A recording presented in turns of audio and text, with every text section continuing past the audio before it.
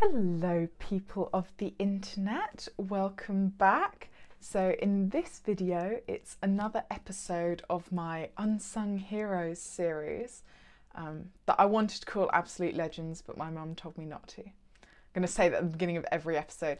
And this one is about Charlotte Cooper Sterry who was um, one of the first women to win an Olympic medal and um, she was also profoundly deaf.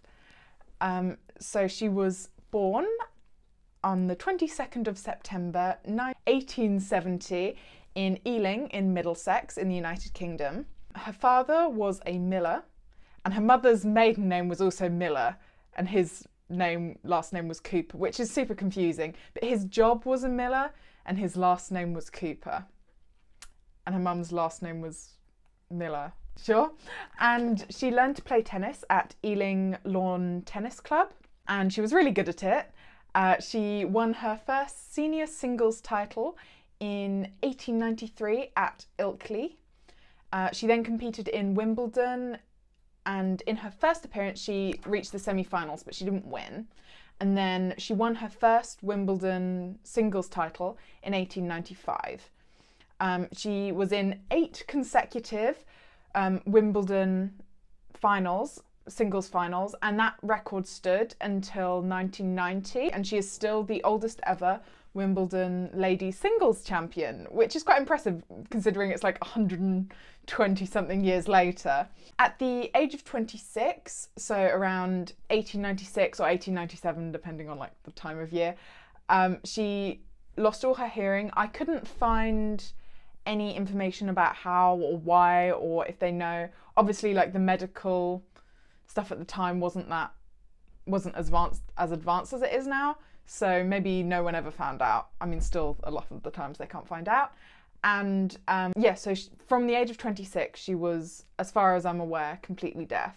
And the 1900s Summer Olympics, she competed there, and that was the first Olympic Games where women were allowed to compete. Um, but they were only allowed to compete in five different sports, which were tennis, obviously, sailing, croquet, equestrianism, and golf. And the reason for this was that at the time it was considered quite controversial for women to take part in sports, especially at like a higher level, um, because it was thought that it was dangerous for women's bodies and it would, you know, be bad for your health but um, luckily it's not. We now know that it's not. So um, women are now able to compete in whatever sports they want uh, without risk of infertility and death. I mean, you know, there's always a risk of death if you do anything, but you know, without an excessive risk of um, health complications. Um, so she competed in the Olympic Games, won the tennis tennis singles event, and that made her the first woman woman to win an Olympic gold in a singles event. Um, she was also the first disabled athlete to win an Olympic champion, an Olympic title. There was actually another lady called Helene de Provost who had actually won an Olympic medal two months before. She was in sailing and she was in a mixed boat, so she, yeah, so she I think was the only woman woman in her boat.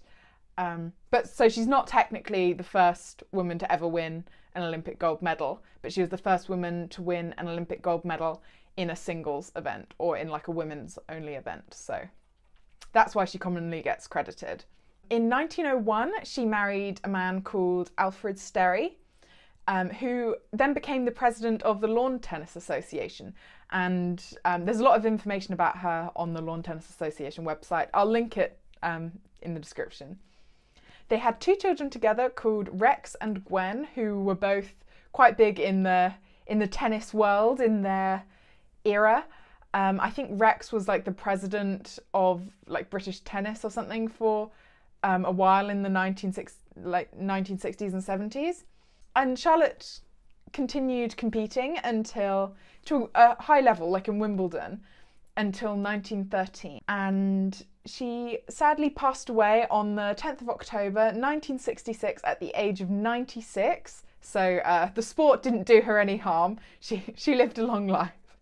Um, and after she had passed away, her family tried to find her Wimbledon trophies and her Olympic gold medal, and they couldn't find them anyway. And her son's theory about what happened to them was they think she just gave them away to the gardener, which I think is quite like a anecdote about the kind of person she was. I don't think she was the kind of person that was really caught up on like the titles and the medals and stuff. I think she just really enjoyed the sport and wanted to be part of it, which I think is very sweet. Um, yeah, I'll put more information about her in the description and I hope you enjoyed this video. Thank you for watching. Bye!